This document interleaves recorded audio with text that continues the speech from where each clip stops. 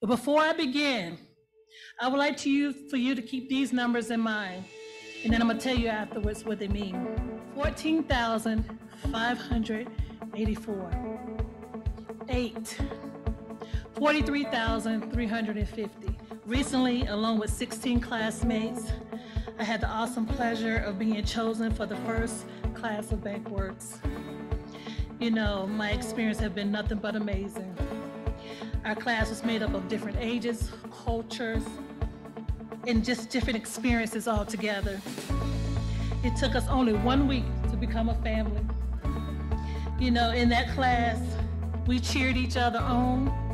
We never let anyone give up, and we literally broke bread together.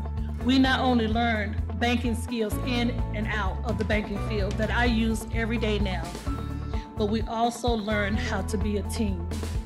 I want you all to remember those numbers. Remember those numbers I told you? 14,5884. That's the poverty level for one person in Mecklenburg County in North Carolina. I was below that poverty level when I came to BankWorks. The number eight was the time it took, eight weeks to change my life. Eight weeks, I was determined. And I wasn't gonna let nobody deter me for what I wanted. Eight weeks.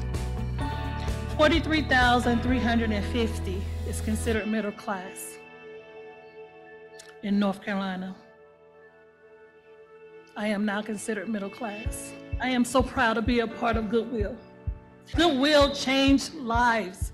So you graduates now have the responsibility to let other people know that donations work.